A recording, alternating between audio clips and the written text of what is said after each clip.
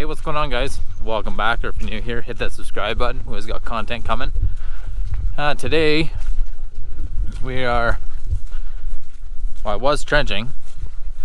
Uh, supposed to rain here lots this week. So I was doing a little bit of trenching, getting ready for the, for the rain. And then as I was coming out, of course, I blew a track. So we're gonna go ahead and we'll put this track back on. It's not really a fun job to do, but not the first time, probably won't be the last, so let's get at it.